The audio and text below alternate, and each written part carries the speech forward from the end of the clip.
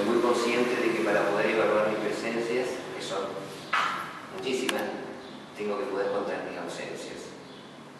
No sé si queda claro el concepto de lo que quiero decir. No son viajes que una ausencia. Es la historia de un tipo en su viaje por la vida, 53 años de vida, que está plantado en un lugar y cuenta lo que le duele. Y lo que le duele no son solamente seres humanos. Ustedes se dan cuenta que lo que le duele es mucho.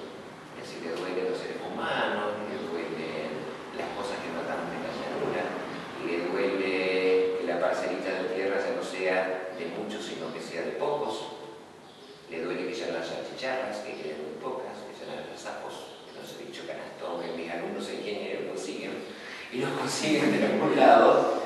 Eh, le duele que el paisaje se haya transformado, aunque sea progreso, no sé si la palabra es dolor, esa cuestión de, resistirse, ¿no? De resistirse a eso que uno entrañablemente tiene mantenido acá, en la memoria.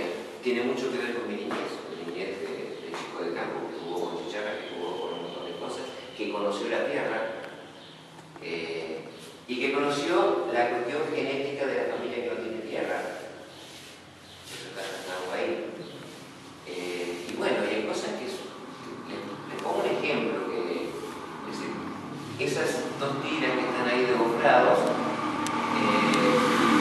son tomadas del plano original. El plano original de Esperanza tenía una línea en medio muy ancha, que se llamó la calle ancha, y al costado eran siete hileras por 14, creo, de cada lado, franceses y alemanes. Ahí están puestos los apellidos, nada más que están en, ese cuadrado, están puestos una faja, un recurso plástico visual para, para poder mostrar eso. ¿no? y lo puse ahí. Y cuando surge la idea, cuando surge la idea de escribir en la pared, en el medio, y en el medio estaba la calle ancha, o en el medio de la calle ancha, hace decir, decir, cuando no pienso lo que estoy pensando, ¿no? El subconsciente te hace decir, me paremos un poco, decir, con esperanza y no seguimos